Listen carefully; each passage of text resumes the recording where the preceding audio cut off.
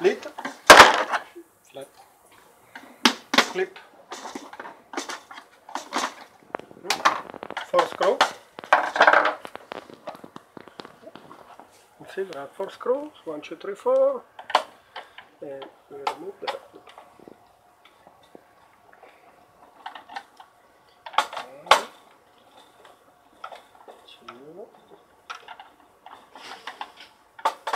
Three.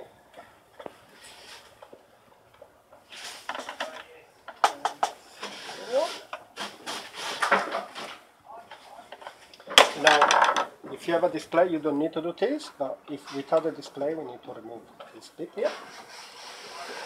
Small screwdriver.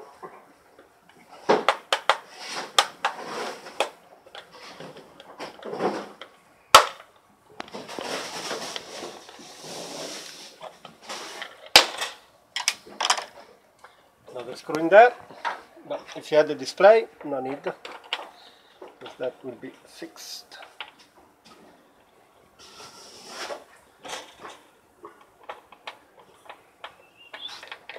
And ta-da! Lid is off. Now we just move the sensor and then you can access from here.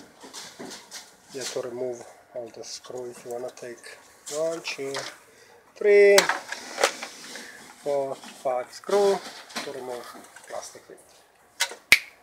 Done.